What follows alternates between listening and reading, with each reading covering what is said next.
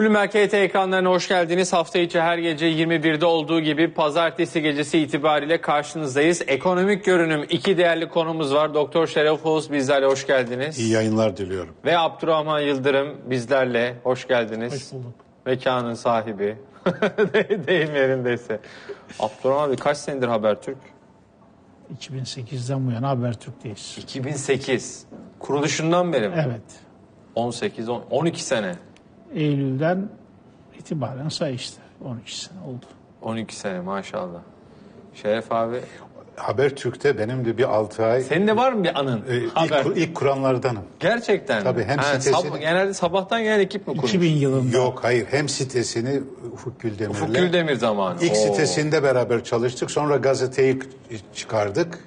Senin bayağı eski. Tabii gazeteyi de çıkardık. Daha e, Habertürk'ün ilk çalışanıyım ben. Habertürk o hani bir gazete açıldı. Gazete kapandı. açıldı, Önce kapandı. İşte o kapandı. gazete. Önce internet sitesi açıldı. Önce zaten Ufuk Güldemir biliyoruz Ufuk- yani ama değil mi? gazete de Ufuk Güldemir'in. Rahmetli Allah rahmet eylesin. Ufuk Güldemir'in de sonra o da e, ondan sonra işte değişti. Oradan sonra ben başka yerlerde çalıştım. Yani Habertürk'te hepinizden daha eski olduğumu söyleyebilirim. tamam bak. Ben internet sitesini beraber hazırladım. Sen de varsın. Uf- Ufuk Güldemir. Evet. Rahmet- internet sitesinde varım ama. Çok eski ama değil mi? Şimdi 19- 2000 yılı ya. Yani 2001 yılı. 2001 2002. 2001 2002. 2002 evet. Aa, müthiş bir ekoldü hakikaten bir kez daha Allah rahmet eylesin. Değerli izleyicilerimiz de bir kez daha hoş geldiler. Efendim adreslerimiz ekranlarda olacak. Et Bloomberg KT Twitter adresimiz hem Abdurrahman Yıldırım hem de Şeref Oğuz'a sorularınız, mesajlarınız varsa bizlerle paylaşabilirsiniz. Ben bu akşam Abdurrahman Yıldırım'la başlamak istiyorum. Mekan sahibi. Mekanınız Bu kadar bu Sahibi, kadar yeter artık, sonra yeter artık dedi. Noktayı koydu. Ee, şimdi Abdurrahman abi seninle aslında radyoda da biraz konuştuk. Müthiş bir e, özellikle otomotiv sektöründe tüketim çılgınlığı var. Ben biz seninle konuşurken e, Show TV'ye denk geldim. Show TV ana haber bülteninde de e, bayilere gitmişler otomobil yok. E, araç yok. Faiz Hafta sonu ben de gittim 3-4 tane bayiye. Hakikaten yoktu yani. Ya şu izleyicilerimize de sormak istiyorum. Otomotiv sektöründeki bu canlanmanın araba yok deniyor. O bayilerde otomobil yok deniyor. Hatta soru soruyorsunuz belki soru cevap vermeye bile tenezzül etmiyor bazı bayiler. Twitter'dan @bloomberg.kt'den efendim bizlere mesajlarınızı gönderebilirsiniz. Otomotiv sektöründeki bu canlanmanın nedeni sizce ne? Hangi nedenlerle bu canlanma meydana geldi ve bu devamı gelecek mi kalıcı olacak mı? Ee, Şeref abi bugün sizin de ilginç bir ziyaretiniz var onu da gördüm. Ben bayağı bir konuştum program girişinde ama konuklarıma söz vereceğim. Kızmasın izleyiciler bana. Sen de taksiciler odasına sanırım gitmişsin. onlar Hakan geldiler, Gül. onlar geldiler bana. Çünkü Onlar mı geldiler? Evet onlar geldiler Dünyaya. bana. Çünkü ben şu Türkiye'nin İstanbul'un taksi sorununun çözümünde niye bu kadar geç kaldık? Nedir tıkanıklık diye sorup duruyorum. Evet, bizim bakıma programda benden- da söylüyorsun. E, benden de illallah dedik senden diyorlar. Sen yazıp çiziyorsun. Herkes üstümüze geliyor diye. Gelin anlatın dedim dertlerini. Geldiler anlattılar. E, evet o, o da bir başka sıkıntı. Aslında bir gün sadece Bir gün o- belki bir taksi yaparız. e, taksi işi yani Taksi kent içi ulaşımın pratikte bize yaşattığı sorunlar üzerine İşin odaklanırız. kaymağını yiyenler var. Bir de sürünen müşteriler Sürülen, var. Evet. Ve şoförler var. Emekçiler var. Evet. Evet. Peki onu bir konuşuruz bir programa. Tamamen o taksi programı yaparız isterseniz. E, çok iyi olur çünkü orada bir uzlaşmaya doğru gidilecek. Açıkçası İstanbul artık böyle bir ilkel taksi sistemini hak etmiyor. Teknolojinin bu kadar geliştiği bir yerde. Derler ki mühendislikte bir kural vardır. İnsanı eğitemiyorsan malzemeyi eğit. Teknoloji malzemeyi eğitiyor. Artık istediğin yere arabayı çağırabiliyorsun. Peki biz niye çağıramıyoruz? bir anlaşma yapıyorsunuz elini kaldırdığın zaman taksiyle. Diyorsun ki ben bu vasıtayı kullanacağım ve arabanı kirletmeyeceğim. Uslu uslu oturacağım, yerlere tükürmeyeceğim. Beni şuraya götür. Taksimetrede yazan parayı da ödeyeceğim. Biz bu anlaşmaya uyuyoruz ama taksiciler uyuyor mu? Peki. Ya da Onu biz tartışacağız. bir, bir, bir programda Evet. e, konuşuruz. Şimdi büyümede hakikaten e, tüketim etkisini konuşuyoruz. Şu otomotivle başlayalım. Ne gözlemledin? Bu programda hem gözlemleri hem izleyicilerimizin de gözlemleri, deneyimlerini alıyoruz. Gerçekten de hafta sonu mesela giden varsa bayilere ya da otomobil almayı düşünen varsa fiyatlar ne durumda, otomobil var mı yok mu? Bizim gözlemlerimize göre bazı markalarda bazı araçlar yok. Bulamıyorsun, araba bulamıyorsun. Sizler de mesajlarınızı gönderebilirsiniz. Abdurrahman Yıldırım ne dersin usta? Yani bazı değil. Hemen hemen otomobil yok. Nasıl hocam ya? Koskoca memlekette otomobil yok denir mi Yok Allah aşkına? hakikaten yani İstanbul'da yok. Ee, buna otomobilciler hazırlıksız yakalandı. Hazırlıksız yakalandı. Evet. e, yani taleplerini yılbaşından önce bildiriyorlar merkeze. İşte otomobili nereden alıyorsa Almanya, Fransa, İngiltere, İtalya, Japonya yani gibi. Yani ithal ediyorsun. Bir de yurt içinden alıyorsun ama en başta bu bir fabrika ona göre üretiyor. Sen ona göre motorunu söylüyorsun, modelini söylüyorsun, talep ettiğin arabayı söylüyorsun. Belki bir ön ödeme de yapıyorsun. Ona göre de fabrika kendi üretimini ayarlıyor. işçi alıyor belki çıkartıyor. Kapasitesini artırıyor. Vardiyasını artırıyor filan. Dolayısıyla bu sene e, zaten otomobil sektörü %50'ler düzeyinde daralıyor idi. Yani yıla böyle girmişsin. Çıkarken müthiş bir süratle çıkıyoruz. Belki %50'lik artışlarla yılı bitireceğiz. Aylık. Vallahi hız sınırını falan aştık diyorsun. evet. Dolayısıyla öngörülemedi. Dolayısıyla talep etmemişler. Dolayısıyla hazırlıksız yakalandılar. Ama talebin patlamasının iki ayrı sebebi var. Birincisi faiz düşüşü. Ee, kamu bankaları öncülüğünde e, otomobil ya da taşıt kredisinin e, 0.50'nin dahi altına indirilmesi. Bu tetikleme yaptı tüketimi. Bir de e, bir e, işte vergi paketinde otomobil e, kiralamanın vergiden indirilecek tutarı sınırlandırıldı. 5, 5 bin lira falan gibi böyle 5 bin liranın altında bir rakamla aylık sınırlandırıldı. Dolayısıyla kiralama yoluyla ihtiyaçlarını karşılayan şirketlerde otomobili doğrudan satın alma eğilimine girdi. Bir de yıl sonu canlanması klasik. Çünkü yıl başında e, şeyler artacak bu vergiler. E, şimdiye kadar da herhangi bir şey gelmedi, işaret gelmedi. E, ortalama ortalama vergi or- ortalama enflasyon yüksekti bu sene. Ekim ayı itibariyle yüzde 22 civarında bir yeniden değerleme oranı var. Dolayısıyla eğer Cumhurbaşkanı devreye girip bunu azaltmaz ise yürürlüğe böyle girecek. E, dolayısıyla azalsa bile belki en fazla yarı yarıya indirecek. Dolayısıyla orada hakikaten ciddi bir vergi artışı da var yıl yıl sonundan itibaren. E, bütün bunlarla böyle bir talep e, patlaması yaşandı. Bir de hurda indirimi de sanırım yıl sonu bitiyor. Bir hurda, hurda indirimi yani o da ayrı bir şey. desteği yani. de var. Onu da ben benim aklıma gelmedi. Onu da Evet. sen söyledin. Ee, Yani bir- Dolayısıyla birden çok neden var. Birden çok neden var. Peki Şeref Oz'a döneceğim. Biraz izleyicilerimizin mesajlarına da bakalım. Bu otomotivde, otomotiv sektöründeki canlanmayı araba bulunamamasını bazı araçlardan söz ediyorum. Araba yok dedi. Abdurrahman abi çok daha net bir şekilde ifade etti. Sizler nasıl yorumluyorsunuz Et Bloomberg'e edilen Twitter adresimizden bu konuya dair sizler de gözlemlerinizi gittiniz mi bayilere konuştunuz mu? Sizler almayı düşünüyor musunuz ya da alamıyor musunuz? Ee, bizlere yazabilirsiniz. Bakalım izleyiciler ne demiş? Birkaç tane okuyup hemen e, Şeref Oğuz size döneceğim. Faizle diyor ithal otoyu destekleyeceğimize istikbalimize para döküp keşke şu okulları kurtarsak daha iyi olur mu? Yani şu sanırım şu doğa kolejiyle ilgili bir hala belirsizlik var tam netleşmedi. Keşke diyor hani Çetin Bey o konuda bir adım atsaydık demiş izleyicimiz. Ee, biz diyor bizim ekonomi dikiş tutmaz demiş. Millet sanki bedavaymış gibi e, son model otomobil kuyruğuna girdi. İki yıl biriken paralar hop ithalatı yeniden gidiyor demiş Kadir Üsküp Bey. E, marka vermeyeyim ama lüks otomobil işte Alman lüks bir iki tane var zaten ama aklınıza geliyordur.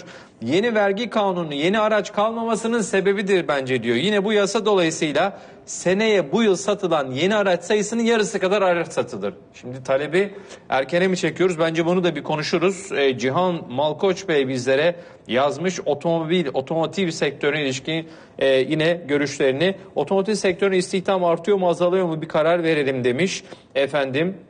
E, bir başka izleyicimiz faiz indirimi e, tam anlamıyla yok diyor. E, faiz kampanyası başlayınca diyor 151 bin liraya verdikleri otomobiller 160 bin lira oldu. Hadi bakalım değil mi? Faizinle hemen otomobillere zam diyor Tayfun Bey. Acaba diyor otomotiv sektöründeki bu canlanmayı seneye konut sektöründe de beklenmedik bir şekilde gö- şekilde görebilir miyiz? Onu da konuşuruz, onu da değerlendiririz. Yani bu tüketimle ilgili durumu acaba birden otomobil e, şeyde de olabilir mi? Yani konutta da aynı şey olabilir mi? Cafer Bey de stoklarda araba yok olsa da zaten alamayız. Alacak olanlar bu parayı acaba nereden bulmuşlar demiş. E, hadi İrfan Bey de okuyayım. Faizlerin düşmesi ve otomobilde satacağımız zaman fiyat düşmüyor. Tersine artmış oluyor. Bir nevi yatırım aracı oldu. Temelde faizlerin düşmesi var demiş. E, Twitter'dan et Bloomberg bu otomotiv sektöründeki bu yıl sonu hareketim artık nedir? Canlanmayı bizlere sizler de yorumlarınızı, gözlemlerinizi iletin. Ne dersin Üstad? Buyurun. Şimdi faiz tetikledi ama zaten sektör barajlanmıştı, talep barajlanmıştı. Savak kapaklarını faiz açtı. Şimdi o ertelenmiş talepler, birikmiş talepler. Hmm. Çünkü daha e, Kasım'ın başlarında şu hesap yapılıyordu. Ya bu hani bir Ali hesabı vardı burada da yaptık onu. 2001 e, CC'lik bir araba alan Ali'nin başına gelenler diye. Şimdi hesap gayet basit. 100 bin lira araba diyelim. Motorlu taşıtlar vergisi 7505 lira. KDV 46.800 lira, özel tüketim vergisi 160 bin lira, toplam 314 bin lira. Diyor ki böylece Ali bir araba aldı ama iki tane de bankaya araba hediye ederek ancak buna sahip oldu. Şimdi bu faizin devlete devlete ve şeye bir tane devlete, iki tane bankaya bir tane de kendine almış oldu.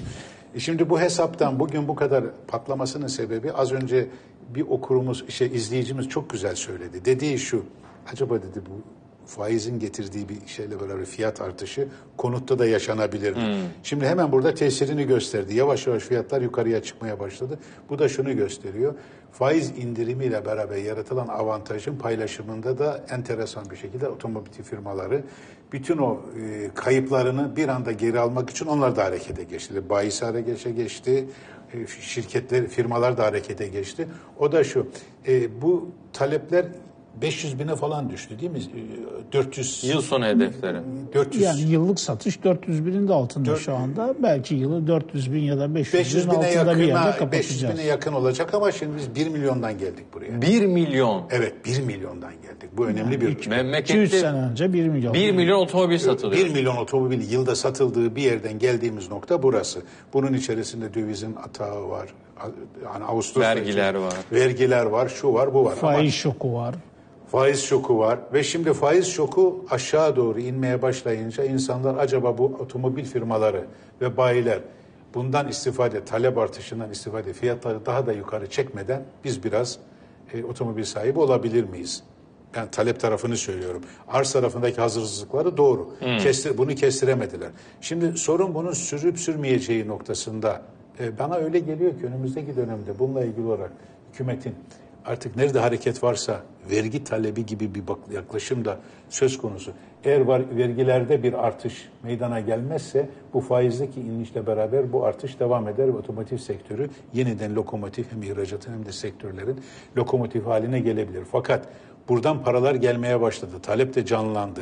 Tam da bu noktada zaten bütçenin ihtiyaç duyduğu vergi kalemlerinde artış için e, vergilerle yukarıya doğru bir hareket söz konusu olduğunda bu tekrar eski mecrasına dönmese bile ama bu hani artık bayileri dolaştı bulamadı ya bayiler tekrar otomobil e, galerileri oluşmaya başlayabilir diye düşünüyorum. Ee, Barış Bey diyor umutsuz e, Rumuzlu izleyicimiz ithalat ve tüketime dayalı büyümenin ilk işaret fişeği yine otomotivle atıldı diyor. Yani biz diyor ilk işaret fişeğini yine attık. İthalat ve tüketimle büyüme. Biz diyor kendi hani özümüze Yine bu konudaki işaret fişeğini attık.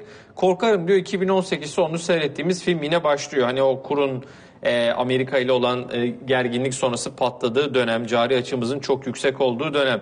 Et Bloomberg'e Twitter'dan mesajlarınızı e, dinle almaya devam edeceğiz. Otomobil satışları kişi başı dolarla diyor. E, kişi başı milli gelirimiz 10 bin dolar olmadan araba satışı yeterince artmaz. Hakan Bey göndermiş. Elektrikli araçların Türkiye'ye geleceğinden bahseder misiniz? Valla gelse de istasyon yani şarj istasyonu olmadıktan sonra istediği her yere o elektrikli araçla doldurun. Ee, önemli olan şarj istasyonlarını Fırat Bey çok e, geniş bir şekilde e, tüm e, yurda yayabiliyor olmak. Ekonomide diyor e, sorun baş gösterdiğinde gelir yaratmak için sürekli vergi uygulaması değiştiren otomotiv sektöründe tüketici güveni istikrar oluşturmak henüz mümkün olmuyor. Taraflar sürekli konjonktüre göre pozisyon alıyor. Ufuk Yürekli Bey göndermiş. Mustafa Bey diyor ki hurda indirimi, faiz indirimi, kampanyayla talep öne çekildi. Önümüzdeki yıl insanlar mevcut fiyatlardan ara- araç alamayacaklarını düşündükleri için talep patladı. İkinci ele de bu durum yansıdı demiş.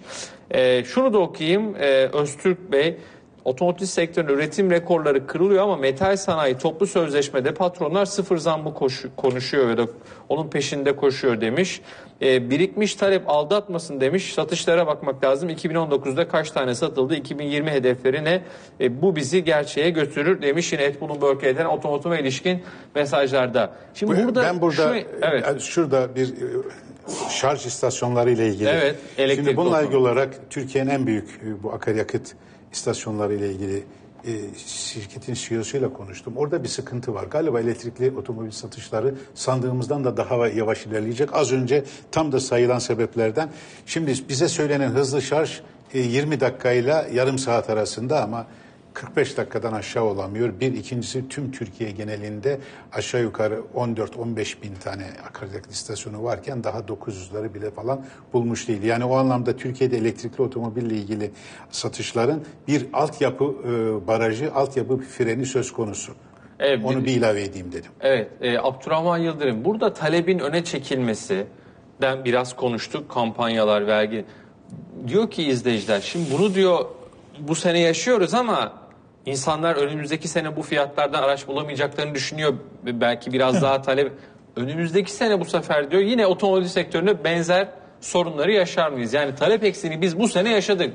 Dibi de gördük, zirveyi de görmeye zorluyoruz şu an otomotiv. Acayip bir git gel içerisinde otomotiv sektörü. Doğru. Değil mi? Evet. Hani böyle bir Ama- müthiş bir ünlü şarkıcı gibi. Şimdi en zirveyi de görmüş, en dibi de görmüş. Şimdi yeniden şöhret olmanın e, keyfini çıkarıyor. Otomotivi bırakalım. Büyüme hızı da aşağı yukarı buna benzer. 7.4 büyüyorduk. Yani bir anda böyle 2.8 derken e, eksi büyüme şimdi yeniden pozitife dönüyoruz. 3 çeyrek üst üste devam etti bu negatif büyüme. Dolayısıyla yani hızlı giriyoruz şeye, e, daralmaya ve hızlı da çıkabiliyoruz. Bu yönetimin göstermiş olduğu refleks, atiklik e, diyelim. Ekonomi bu- yönetiminin. Evet evet. E hani Yani- e, yok işte bu daralmadan şimdi ben biraz tersten soru soracağım. Hani efendim bu işte ekonomik e, bu yaşadığımız farklı bir şey. Bunda uzun dönem biz efendim toparlanamayacaktık. Eskisi gibi bir anda V şeklinde çıkamayacaktık. E, bak- bakıyorsun otomotiv sektörüne a- araba yok diyorsun hocam faiz indirimleri sonrasında. Demek ki bir anda toparlandık mı? Toparlanıyor muyuz? Yani en azından tüketim boyutuyla toparlanıyoruz. Şimdi tüketim böyle devam ederse bir süre sonra e, üretim de buna ayak uydurur. Yani kimse fabrikasını açmış e, hani ben üretmiyorum demez. O da üretir, satar. Dolayısıyla üretimin de buna eşlik edeceğini bir süre sonra görebiliriz. Yeter ki talep devam etsin. Ama e, burada bence belki atladığımız bir şey ya da bu süratle girip çık, çıkmak arasındaki sürenin kısa olması yeniden yapılanma denen mevcut ekonomik yapıyı değiştirmeden biz yola devam ediyoruz. Dolayısıyla 2018 öncesi sorunumuz neyse 2020'den itibaren sorunumuz da o olacak. Değişmeyecek. Nedir o? İşte cari açıksa cari açık. İşte büyüdüğün zaman ithalatsa ithalattır. İşte düşük ihracatsa düşük ihracat. Rekabet gücü zayıfsa zayıf. Buna bağlı olarak e, istihdam sorunu ya da işsizlik sorunu yüksekse bu devam edecek. Yani şirketler önemli ve ciddi bir borç sorunu yaşadılar bence. E, ve bunu ilk defa da yaşadılar. Reel sektör şirketleri. E, bu sorunu biz tama, e, tam olarak çözmedik. Yarım yamalakta çözmedik henüz. Yani bir çözüm yoluna giren sektörler var. Ama işi sağlam kurallara bağlamadan bu büyüme şeyine girdik. Dolayısıyla sanırım bu büyüme trendinden sonra da kimse hani yapıyı değiştirmekle uğraşmaz. Dolayısıyla reel sektörü Nasıl olsa talep hemen geliyor diye. ve işte reel sektörü radikal böyle adam gibi adam etmedikten sonra yola biz çıkacağız, devam edeceğiz. Bir süre sonra tekrar aynı yere döneceğiz. Ee, yani keşke 2001 de olduğu gibi bankaları ve devlet tarafını nasıl o zaman yapılandırdık? Yaklaşık da bir 20 yıl, 18-20 yıllık süre kazandık ekonomide. Tökezlemeden ve yere düşmeden devam ettik yolumuza. Küresel krizi yine bankaların ve devletin nispeten güçlü yapısıyla e, rahat ve e, hızlı atlattık. E, şimdi de biz reel sektörü yapılandırabilseydik bu e, şeyde sıkıntılı dönemde belki önümüzdeki 20 yıllık dönemi kazanacaktık. Ama şimdi önümüzde herhalde bu yapıyla 20 yıllık süre yok. Yani 2 yıllık var mı bilemem. Ama yani sorunlar aynen devam edecek. Yapısal sorunlar. E, Şerefoğlu, Ve, ve gelecek senede otomobil gelecek sene ne olacak? kurlara çok bağlı. Eğer kurlar düşer ise otomobil sektöründe satışlar da fena olmaz, iyi olur. Çünkü Düşük faiz ortamı ucuzlar, devam ederse. düşük faiz ortamı, düşük kur. Ben normalde kurun hani Vallahi 6 ben arabanın civarında hiç ucuzladığını görmedim memlekette hocam. hocam Yani otomobil en kötü dönemde bile ben hiç ucuzladığını görmedim. Çünkü Bu sene şu de anda, görmedim. şu anda çok pahalı. Vergi indirimi olur ama ucuzlamaz. Şirket Yani ucuzlatmaz. ben gezdiğimde Devlet vergiden 200 bin feragat liranın eder. altında otomobil göremedim. Böyle bir şey yok. Niye yok hocam? Var Yok işte. işte yani 200 bin liranın altında otomobil göremedim. Yok. Yani fiyat bile zaten koymamışlar. Yani satmıyorlar. Yani dolayısıyla şimdi çok hani şey bir şey, o, olağanüstü bir durum Bir artı ev fiyatına otomobil alıyor. Bence gelecek sene doğrudur. Yani talep biraz doymuş olacak. Çünkü biriken bir talep vardı. İşte 2018'den başladı. 2019 yani bir buçuk iki seneye yakın otomobilde Beklenen. durgunluk yaşandı. Konut sektöründe de aynı. Dolayısıyla e, bu faiz düşüşüyle beraber bir ucuzdan yakalama şeyi, Hevesi. hevesi hakikaten insanları böyle çılgına çevirmiş ama Evet enteresanmış. bence bir, bir yanlışlık var. Yani bu piyasa hakikaten e, şey e, kendi e, kulvarından çıkıyor sanki. Dolayısıyla gelecek yıl fiyatlar daha bir oturur. Hem konut sektöründe hem şeyde otomobilde daha iyi fırsatlar ortaya çıkabilir. Sen ne yaşadın onu da bir anlattınız. Radyoda paylaştın ya. Nasıl böyle yani hoş geldiniz efendim buyurun falan diye Ya mi karşılanıyorsun şu şey. an bayiler? Yok hayır yani gördüğüm manzara herkes ya bir cep telefonuna bakıyor, müşteriye bakan yok. Bir arada gelip fısıldaşıp konuşuyorlar filan çalışanlar. Satacak hiçbir şey yok. Ben yani satış değil, fiyat da öğrenmek istemiyorum. Sadece Sordun. soracağım yani bu arabanın bu modelin bilmem dört çekeri var mı? Bu model diyorum yoksa ondan yok. Ya dur bir, bir, bir soru soracağım. 2020'de de yok. Ya kardeşim Satmak sorun- istemiyor demek ya. Satmak istemiyor değil. Yok hakikaten. Galiba alamayacaklar da kolay. Hmm. Yani Türkiye e, tale, galiba daha önceden bildirilmesi lazım. Yani şimdi devreye gemiyle girip bana ta 2000, nereden? 2000 daha neden değil. Önce üretim bandına girecek. Oradan çıkacak öyle kolay değil bu işler. Yani adam dünyaya otomobil satıyor. yani sadece Türkiye özel Yani ters üretim köşe yapmıyor. yaptık otomobil üreticileri. Şimdi Ama, Ama- 3-5 ay önce de yani, Yani, ekonomi yönetiminin Ha. şöyle bir şey olabilir ama yani nasıl? ekonominin e, dibe vurmasını beklemektense bir canlandıralım bakalım. Nereden canlandırabiliriz? Tüketimi uyararak ve buradan bir canlandırma yapmış olabilirler. Ama dolayısıyla yol boyunca reformları eksik etmezlerse sorun yok bence. Reformlar olmazsa Evet olmazsa dediğim gibi yani Aynı yere mi döneriz? Aynı yere döneriz. Ee, Şeref abi okuyayım mesajları sor. Hemen hemen yorumlamak istersen hemen yorumla. Şimdi hemen yorumlayalım da ben. Lütfen tamam. Şimdi belli ki önümüzdeki dönemde yok mok ama bir hem e, şeyde fiyatlarda hem de talepte bir canlanma bir otomobilde bir ralli başlıyor. Benim üzüntüm ne biliyor musun? Cumartesi günü bizim yerli otomobilin lansmanı vardı yine ertelendi. Gönül isterdi ki Onu soranlar da var. Onu Gönül, ister, ama gönül evet. isterdi ki bu otomobilde ralli diyelim hani benzetme Hmm. yapalım ya borsadakine. Ralli yaşanacakken o ralliye biz yerli otomobili, Türkiye'nin otomobilini sokamayacağız. Soksaydık arada mesela 30 bin kamudan başlamak üzere 50 bin, 70 bin, 100 bin araya da sokabilirdik. Bunu bir, Bir dipnot olarak bir ifade dipnot ediyoruz. olarak ifade edeyim. Sorulardan sonra devam edelim. Peki e, Haldun Bey diyor ki e, Ed Bloomberg KT'den siz nasıl yorumluyorsunuz bu e, mevcut otomobil sektöründeki, otomotiv sektöründeki canlanma yıl sonu neden nasıl devamı gelir gelmez bizim tüketim alışkanlığımız Türkiye ekonomisi etkileri hepsini sizlerin de yorumlarıyla konuşmaya devam ediyoruz. Diyor ki hakikaten enteresan güzel değerlendirmeler var ki fikrimizi de zihnimizde açıyorlar.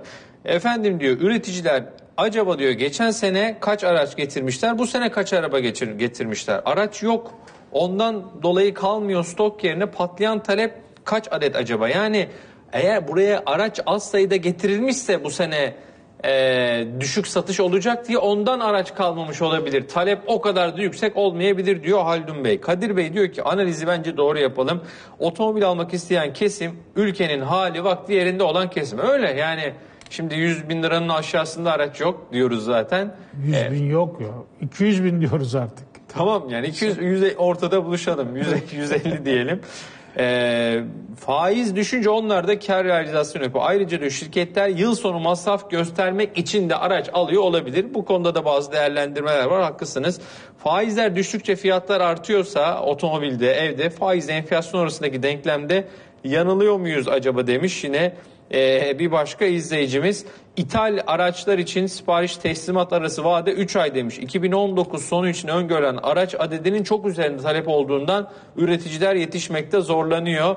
Ee, vardiya adetleri düşüren üreticiler şu an mesaili üretime geçti diyor Mustafa Bey. Ee, 5000 TL üzeri kiralık aracın e, KKEG yazıları açıklandı. Bu filo satışlarını azaltmaz mı? E, bu konuda çok yorumlar yapılmıştı. Abdurrahman abi de biraz e, buna değindi. Biraz diyor program diyor e, cari açık genç işsizlik çift taneli enflasyon tarım ve hayvansal üretim gibi konuları e, ele alsanız daha iyi olmaz mı? Biraz iyimser. Başka bir ifade kullanmış izleyicimiz ama Orhun Bey biraz diyor iyimserliği işte konuşuyorsunuz falan.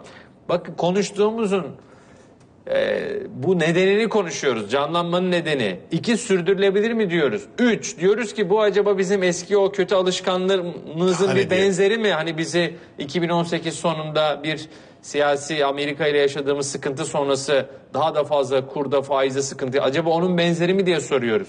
Aslında sizin merak ettiklerinizi konuşuyoruz. Yani işsizliği konuşuyoruz aslında. Bu erken talebin öne çekilmesini konuşuyoruz. Farklı bir şey konuşmuyoruz. Ama fark, fa- tersten konuşuyoruz biraz. Bence bilmiyorum. Ee, Evet. Şeref Oğuz ne O dersin? hükümet isterse küçük vergi oranıyla küçük bir oyunla bir anda bitirir piyasayı. Ya da Otomotiv sektörü. Tabii ki. Az önce verdiğim örnekte gelir varsa e, vergi de orada hazır bekleyecektir. Zaten sorunumuz neydi hatırlıyorsunuz? Geçen 15 gün önceki programda neyi konuşuyorduk? Vergi oranları üzerine yapılan tartışmalarda geliri artırmadan vergiyi art, vergiyi artırmayalım dedik.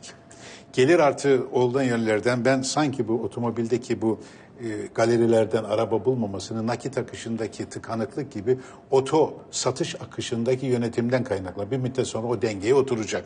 Yani e, cash flow dediğimiz şey var ya, auto flow diyelim dengesini bulacaktır.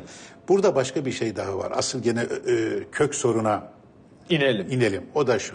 Türkiye yeniden büyü- büyümeyi tetikliyor. Neyle tetikliyor? Tüketerek. Önce kamu kendisini tüketerek. Yani bir şey düşünebiliyorsun tüketerek büyümek. Bu aslında erimenin de bir ifadesi. Nereden buraya geliyorum? O da şöyle. E, perakendede bir canlanma var. Sebebine, kök sebebine iniyoruz. Geçenlerde bir e, Türkiye'nin en fazla AVM ağına sahip bir patronla konuşuyorum. Diyor ki bir Arap turist 10 Türk e, AVM müşterisine bedel. Hani bir Türk dünyaya bedeldi. Gelir- Ama AVM'de bir Arap turist 10 Türk tüketiminin harcamasına bedel. Har- harcamasına bedel. Bir Türk dünyaya bedel dediğimizde yani böyle bir metafor kullanıyor ve turizmden gelen e, bu artış var ya turizm iyi gidiyor ya. Evet. Onun tüketime yansımasında hala yabancılar ön sırada. Türkler o kadar değil ama faiz oranlarında aşağı doğru inişler devam ettiği sürede yeniden bu iç talebin de canlanacağı noktasında işaretlerden söz ediyor özellikle AVM'de turistler dışında. Bu da şunu gösteriyor. Eğer siz o anlamda yine 2018'deki gibi tüketerek büyümenin iştihasına ve yüksek büyüme oranlarının getirdiği fiyakaya kapılırsanız bir müddet sonra aynı yerde aynı sonuçlarla elde edeceğiz. Çünkü Türkiye'de e, üretim hala sıkıntılı. Yani şimdi söyleyip duracağım yine de e, enflasyonu indireceğiz de.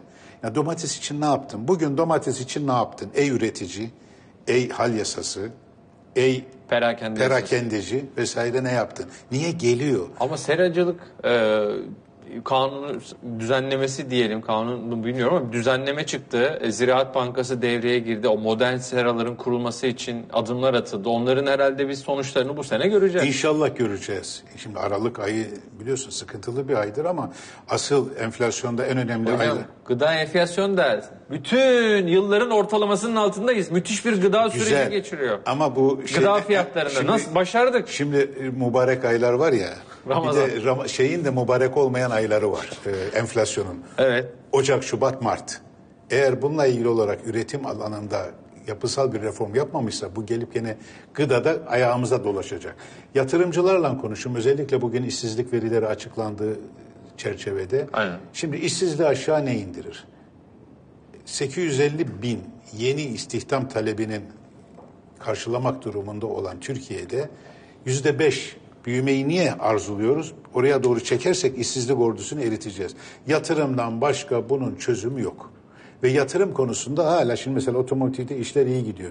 Tüketimde az önce söylediğim bir canlanma var. Bazı sektörleri harekete geçirecek ama Türkiye'nin gerçekten üretimi tetikleyecek ve yatırımları hızlandıracak adımlardan hala berideyiz. Bana göre o adımda en önemli reform ne faiz indirimidir ne de dövizde alınacak tedbirlerdir. Tek bir reform görüyorum ben. Birincisi e, hukuk reformu tamamen ekonomiyle ilgilidir. Bakın bu belki iddialı bir laf. Hukuk reformu tamamen ekonomik reformdur bana göre artık. Bir de dış politika reformu. Avrupa Birliği ile yeniden işleri düzeltmek, etrafımızdaki coğrafyayla beraber yeni ilişkiler kurarak yarın öbür gün başıma gelecek olan ihracat yavaşlaması tehdidini şu anda öngörüp ona karşı tedbir geliştirmem gerekiyor. O anlamda eğer Türkiye döviz kazandırıcı işlemlerden en önemlisi olan ihracat artışını hem kalite hem kantite olarak yukarı çekmediği zaman biz bugün otomobili yukarı çıkarırız, yarın aşağı indiririz ama günün sonunda 2018'in yeni bir şeyin 2020-21'de de tartışmış oluruz. O zaman şimdi ben geriye dönüp bakıyorum. Peki biz niye bu dalgalanmaya yaşıyoruz da bunun yerine sürdürülebilir bir noktaya çekemiyoruz. Atmamız gereken adımlar belli. Herkes kabul etti. Bununla ilgili olarak önümüzde de seçim yok. Ben hala İki- Dün Cumhurbaşkanı Erdoğan e, canlı yayında yine 2023'e kadar seçim yok dedi. yani görünen yok en azından e, bir ufukta öyle bir şey görünmüyor. Yani ne gelir başımıza bilmiyorum ama şu var en azından yatırımların devreye girmesi belki de o anlamda az önce söylediğim tıkanıklıkların aşılmasıyla olacak.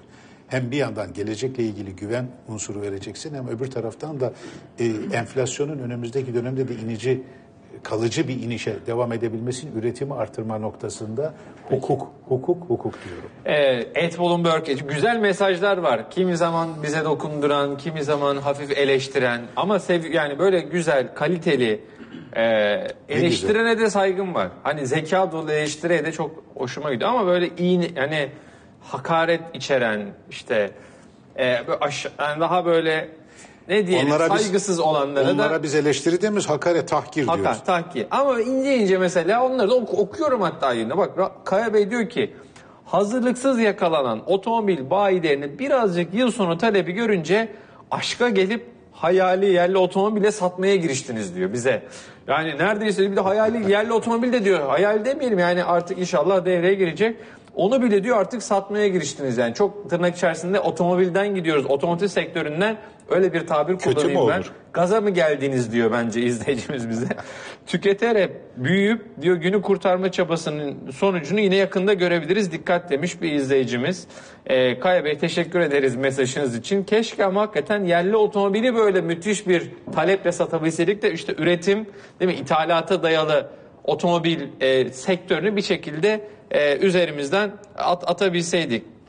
Yine okuyacağım. Ee, Ed Bloomberg ET'den gelen bu konuya ilişkin. Ee, şöyle otomobil sektörüne, otomotiv sektörüne ilişkin araç satışında patlama yok. Sadece alımlarını erteleyen bir alıcı kitlesi vardı. Enes Bey yazmış. Faizler düştü. Bunun sonucunda alımlar öne alındı. Distribütörler de buna hazırlıksız yakalandı demiş. Ee, bu yılki toplam hedefte değişen bir şey yok. 500 binin altı bekleniyor demiş. Araç bayilerinde bulunamayan araçlar yolun hemen karşısındaki büyük galerilerde e, 10 %10-15 fazlasıyla bolca bulunmaktadır diyor Zeki Bey. Yine aynı film mi diyor otomobilden vergileri al götür betona e, yatırma dönemi mi? Yani otomobil satışı olacak Kamu buradan müthiş bir vergi geliri elde edecek. O vergi geliri sonra yeniden inşaat sektörüne aktarılacak? Bu da garip, enteresan bir e, yine bir denklem içeren aslında hem soru hem yorum. E, güzel güzel de bir e, noktaya değinmiş izleyicimiz. Düşük faiz otomobil alanların tamamı aldığı araçlardan geçmişte para kazanmıştır diyor. Bunun sebebi budur. Buna ilişkin doğrudan bir örnek var onu da bulayım. E, Levent Bey yazmış. Barış Bey diyor bir SUV aracımı 2011 yılında 50 bin liraya almıştım. Aynı araç 2016'da 100 bin şu anda fiyatı 200 bin. Her 5 yılda bir araba fiyatları ikiye katlıyor. Erken alan galiba karlı oluyor. Otomobil sektöründe demiş. Eee yani hakikaten çok çok mesaj var ama hangisini okumak isterim? Ee, izleyicilerimizin bu otomotiv şirketleri talebi öngöremediler, siparişi az verdiler diyor. Bence bu nedenle Beytullah İlcan Bey de işte TEMSA'yı e, Tem- TEMSA'nın da kapanışına şahitlik ediyoruz. Bir şeyler yapılmanı. e, lütfen onu da konuşun demiş. Yerli otomobil yapacağız diyoruz ama göz göre göre Kapattık, e, otobüsü kapattık. TEMSA kapandı. Senin de o konuda çok yazıların vardı. Yani kapandı denemez ama Ne diyelim? üretime ara verdi. Üretime ara verdi. Evet. Şu an kapalı. Ama maalesef yani bu konuda bir farkındalık yaratıp e, şirket niye bu duruma geldi? Ya yerli otomobil diyoruz. Otobüsümüz vardı yerli değil Otobüsümüz mi? vardı. Bak otomobili hala lanse edemedik. Bu cumartesi bekleniyordu. Cumhurbaşkanımız e, Osman Gazi Köprüsü'nde bir de bu Test sürüşü bekleniyor. Bilişim Vadisi'nde test sürüşü yapılacaktı. Ertelendi. Anlatmak istediğim otom yerli otomobili biz sahaya sürmeden zaten dünya liglerine, yollarına sürdünüz ve dünyada beşinci büyük ağı olan bir otobüsü icat ettik, geliştirdik. İçerisine e, her türlü teknolojiyi koyduk. Yazılımı uluslararası ödüller aldı ve onu becerip üretim bandında sürdüremedik. Şimdi tamam az önce kapanma ve üretim durumu arasında şu var ama şu var. İnsan suya düştüğü zaman değil suda kaldığı zaman boğulur. Şu anda temsa suya düştü. Ama orada eğer kalırsa onu çıkaramazsak orada boğulacak. Peki sorarım size yerli otomobili daha doğurmadan zaten doğmuş olan ve sadece doğmadı. Rüştünü ispat etmiş e, ergenlik dönemlerini bırakmış olan otobüsün başına bunları getirmeye nasıl razı olduk? Yani bu da sorgulanması gereken. otobüsü nereden aldılar? Niye almadılar temsilin? Ya bunun cevabı var mı? Tabii. Bir Niye de o- Alman meşhur markadan aldık? Değil mi? İstanbul'da Yani ben onu şimdi görüyorum. Biz içeride tuttuk 3.6 milyon euroya ürettiğimiz vagonu bizim mühendislerimiz, bizim şirketlerimiz Bursa'da üretti. Adına da çok güzel bir marka da koydular. Hani marka ismi vermiyoruz. Şimdi üstelik kaça üret? 3.6 milyon euro yerine 1.3 milyon euroya. Bakın yarı yarıya üstelik teknolojisi ondan bir buçuk kat daha iyiyken ne oldu? Aramızdaki rekabet yüzünden Eskişehir ben almam oradan alırım. O bilmem oradan alırım ben oradan alırım diye gittik hala dünyanın parasını vererek nasıl ki telefonda hani o meşhur markaya hepimiz tapınıyoruz. Yabancı markadan alıyoruz. Kendi ürettiğimiz insanların otomobil şey vagonları orada duruyor yarı fiyatına. Bu akıl tutulmasıdır. Kusura bakmayın. Başka hiçbir izahı yoktur. Şimdi bazı böyle kurt, işte tırnak içerisinde kurtar haberler doluşuyor bazı sektörlere ilişkin işte onu aldı bunu aldı falan diye. Çok üstü kapalı konuşuyorum ama e, TEMSA'ya ilişkin yani izleyicilerimiz aklına geliyordur zaten ne ifade etmek istediğimi. E, yeme içme sektörü diyeyim herhalde bir ufak Evet. bir ufak ipucu daha vereyim anlaşılacaktır. E, işte bazı bankalarımızın ne diyelim bir rahatlık sağladığına ilişkin e, bazı dedikodular ya da haberler dolaşıyor. TEMSA'ya ilişkin ifade ettiği Şeref Oğuz'un hakikaten bir tarafta yerli otomobil yapmak istiyoruz. Yapılmışı var hani del, Cem Yılmaz'ın Burada e, üretilmişi şovunda var. gibi hani burada var yapılmışı var falan diye. Ya yapım zaten otobüs, otobüsü yapmışsın satıyorsun. Onu böyle hakikaten orada da bir farkındalık ifade ettiği gibi yani kapanmaması için yerli üretim bir, bir Bu- ne bileyim bir bu kurtarma konuda- neyse bu, Yok, bu, bu yetkililer konuda- bu konuda bir şey yapmaz bu mı? konuda siyasi irade oluşmamış. Ankara'da bir irade oluşmamış bürokraside. Dolayısıyla soruna sahip çıkacak yetkililer ortada yok. Yani ortada var da bu konuda bir fikir oluşturmamış. Otomobil üretelim diyor ama oto, üretilen otobüse karışmıyor. O piyasa şartlarında rekabet etsin. Ya belki doğrusu da bu hakikaten. Ama insan yani bir marka üretilmesi, bir e, işte şeyin ortaya çıkartılması hakikaten kolay değil. Yani Sayın Cumhurbaşkanı mücadelesini de hatırlıyoruz yani 10 seneden fazladır. Evet. Bu yerli otomobili hayata geçirmek için. Ee, biraz da zoraki bir araya getirilen bir e, grup oldu. Ve sonunda e, belki hayata geçecek hakikaten. İnşallah da başarılı olur. Ama başarılı olmuş başka bir şey konusunda bence burada bizim e, toplum olarak da bir şeyimiz yok, irademiz yok. Yani bırakalım sadece siyasi iradeyi. İşte belediyelerimiz niye almıyor? İşte özel sektör otobüs firmaları, onlar niye almıyor? Ee, Yani bütün bunları sorabiliriz. Burada Biz ne kadar sahip çıkıyoruz? Burada yani bir şimdi? regülasyon gerekmiyor. Yani illa devletten, kamudan beklemeyelim. Hayır, diyorsun. bir, bir- bir şey ilave etmek istiyorum Abdurrahman. Burada bir regülasyon gerekmiyor mu? Güney Kore böyle önemli inovatif işleri yapan şirketlerini satın alma e, ile destekliyor. Gidip onlara para vermiyor diyor. Sen üret ben onları alacağım. Şimdi Türkiye'de bu kadar belediye var. Aynı İpek Böceği örneğinde verdiğim gibi, vagonlarda verdiğim gibi.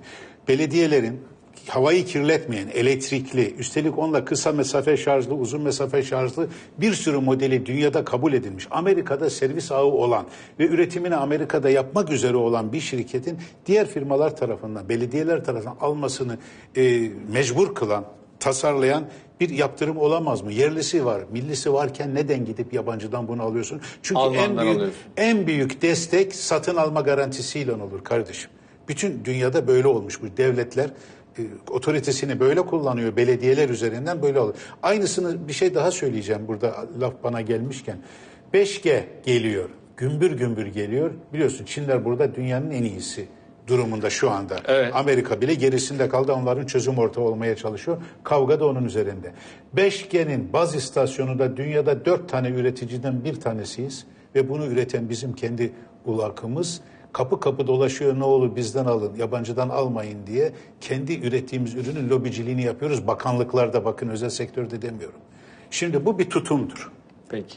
Tutumun buysa neticede budur. Bir araya gidelim izninizle. Aranın ardından sohbetimizi sürdüreceğiz efendim.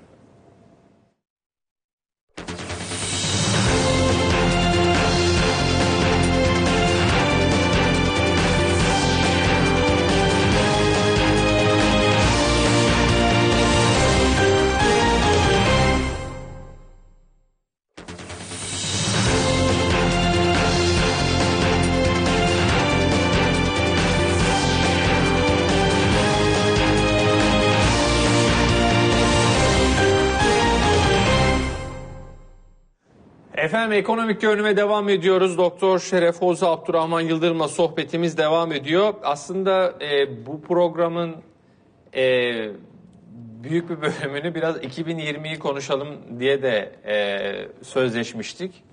Ama e, önümüzdeki haftaya kaldı değil mi Abdurrahman abi? Öyle oldu ama konuşalım yani. Konuşalım mı? Bir ufak bir giriş yapalım istersen. Gelecek hafta konuşalım. Haftaya tamamen konuşalım. Evet, evet. Ama bu yani önümüzdeki sene şimdi kredi müthiş bir kredi büyümesi de var. Ee, bankalarda bir kredi büyümesi var. Düşük faiz var. Bütün özel bankalar da şu an bu yarışa katılmışlar. Birilerinin altına düştü faizler. Bunu biz ne kadar sürdüreceğiz? Önümüzdeki senenin e, yani bu tüketim, düşük faiz ve tüketim denklemi önümüzdeki senenin tamamında böyle mi geçecek? Yok hayır. Nasıl geçemez. olacak? Geçemez. Bence Şu an çok acayip bir süreç içinden geçiyoruz. Düşük Ekonomi- faiz ve bu tüketim dönemi. Ekonomi yönetimi bir yerde frene basar. Frene basar diyorsun. Tabii tabii. Yani hocam beş- beş- bence ekonomiyi canlandırmak için böyle bir ön aldılar. Daha sonra ekonomi hafif canlanırsa şeyi kesecek. Beşe nasıl Ee, beşinci O zaman 5. vites aynı otomobil nasıl 5. vitese çıkacak? Sen diyorsun ki 3 3'ü attığında tam böyle gazı almaya başladı. 3. vitese yüzün üzerine çıktı otomobil 2'ye çeker. Bence hocam vites pek düş- düşmez gibi geliyor. 5 diyorsun çünkü. Boşalıp da gidemezsin yokuş dünya. dünya 2020'de Aynen. yokuş. Ya E, gördük işte- Alman piyamayı 42'lerde hala. Evet. Şimdi yurt dışı e, iyi değil. İhracat tıkandı. E, işte daha fazla artamıyor. Dolayısıyla büyüyelim, yatırım yapalım da nasıl olacak? Yurt içi talep canlanacak ki üretelim. Kapasitemizi kullanalım. Kapasite kullanımının sonuna gelelim. Ondan sonra da yeni yatırım yapalım. Dolayısıyla ekonomi canlandırmak böyle bir şey olacak önümüzdeki dönemde. Çünkü dünyada talep böyle kolay kolay açılmayacak. Gelecek yılki büyüme de yaklaşık Avrupa'da yüzde bir civarında. Ondan sonraki senede aynı. Yani Avrupa'dan umut yok. Başka pazarlara e, yönümüzü çevirmemiz lazım ama ona göre de üretim bantlarını ya da üretim tesislerini de revize etmek, değiştirmek, yeni yatırımlar yapmak lazım. Belki bazı yatırımlardan da vazgeçmek lazım. Dolayısıyla zaman alır. Ee, Yani yapılan şey yurt içi tüketimle ekonomiyi canlandırma şeyini doğru buluyorum ama sürdürülebilir bulmuyorum. Yani dolayısıyla bir süre sonra mutlaka bunun başka şeylerle desteklenmesi lazım. Dolayısıyla da sonuna kadar e, bu talep canlılığını sürdürmeyeceğini düşünüyorum. Hmm. Çünkü bir süre sonra bu cari açığa yol açmaya başlayacak. Orada e, ister istemez ekonomi yönetimi e, bir şeyle beraber fren yapacak. Ya da işte mevcut e, diyelim şu anda konuşmadık ama e, yine bu paralı kesimin e, işte zengin kesimin geliri yüksek kesimin bir sorunu daha var konut tarafında. O da değerli konut vergisi. Bir sorun daha var. Bir de gelir vergisinde yüzde otuz, 40'a çıktı 35'ten. Şimdi e, işte önümüzdeki İki yıl sorunu var hocam. Tek sorunu yok. tüketim kısılacak. Yani Değil mi? Evet doğru. Tüketim kısılacak. Gelir vergisi de üstelik 40'a çıktı. Doğru, doğru. 500 binin üstünde. Daha daha Bütçe yüksek açığına vergi. çalışacağız. Değil mi? Bilmiyorum ben. Yüksek gelir olanlardan bahsediyor hocam. Biz, Tamam. Biz, Biz, ben gariban bordura mahkumuyuz biz. Tamam, Geliri 500 bin üstünde olanlardan bahsediyorum. evet. Yani e, o tüketi tüketebilecek olan kesim de bence Evet. daha az tüketecek. Önümüzdeki sene. Evet. Çünkü vergi verecek. Yani ev başına 100 bin lira, 200 bin lira vere- verecek olanlar var yani. Ama o 5 milyonun üzerinde ev, 5 milyon TL'nin üzerindeki ev sahipleri için geçerli. Ya tamam da yani gökten para yağmıyor herhalde. Yani bilmiyorum. 5 milyon da yani ev geçmişe yönelik kazanılmış bir şey, e, servet. Servete vergi getiriyorsunuz. Ev oturulan bir şey. Yani otururken başka masrafları da var. Bir de ayrıca 100 bin, 200 bin ekstra bir vergi verecek. Bir de bir emlak vergisi var zaten. Emlak vergisi de var. Doğru. Yani ne olacak? Bence yani emlak piyasasını zaten bozacak. Değerini düşürecek evleri. Yani getirilen e, bu değerli konut vergisi 4 milyon net 900 bir bin olacak evler. yok. net bir şekilde uygulanan emlakların ya da e, gayrimenkulün ya da işte konutların değerini düşürecek. Abdurrahman bunu biz ne zaman şey bu 100 bin lira 100 bin dolar alımında konuştuk ya hani 99 bin 999 dolar alırım vardı tebir, ya. tebir dediğimiz şey, valör, Ya valörde. yok, bu- 4 bu milyon gayet 900 bin lira olur evin Yok, fiyatı yok. hocam. Bu otomobilde var ya hani 1.6 motor. Evet 1600 motorun Evet. altı ve üstü. evet. Şeyde de öyle olacak. Konut piyasasında. Hatta yani mevcut konutlarını yıkıp yıktırıp yeniden inşa edecek olanlar var. Tapuyu böldürecekler. Evet. 5 milyon sınırına takılmamak için. Tapuyu böldürecek. tabii- yani bundan sonra kimse 5 milyon üzerinde konut inşa edip satamaz. Ve Satmak kimse de almaz. diye. Kimse de almaz. Yani Yani deprem, alıp niye o kadar vergi görmüş versin? konut muamelesi görecek. Lüks konutlar. Hay Allah. Peki e, çok teşekkür ederiz. Sonuna geldik. E, önümüzdeki bugün Dünya Gazetesi'nin manşetiydi bu eğlence, spor ve sağlık 2020'de parlayacak diye e, The Economist dergisinin The World e, Intelligent yönetim. Evet, 2020 yılı. Ee, bu haftaya bence tam 2020 programı yapalım inşallah. Olur mu? Şeref olur. Bir de bu sosyal konut çağı geliyor. Onu da sosyal konutu da bir, Evet, bir, evet. bir akşam Tam yapalım. konuştuğumuz hani burada örnek verdiğimiz konu bir şekilde olacak. Bakalım bunu başarabilecek Evet. miyiz? Şunla bitireyim. Ee, bir izleyicimiz ben de bütün e, özet e, manasında tamam diyor. Çok güzel bul- bulacağım mesajı anlatıyorsunuz. Otomotiv konuşuyorsunuz. Barış Bey e, ama demiş izleyicimiz şöyle bulayım. Evet yerli ve yersiz. Önemli olan diyor depo nasıl dolacak? Arabayı Ya. aldık. Ama depoyu nasıl? Değil mi? Hani vardır ya depoyu nasıl dolduracağız hocam? Bir sorunla Olay bizi baş başa bıraktı. Aynen. Birazdan 22'de buluşmak üzere.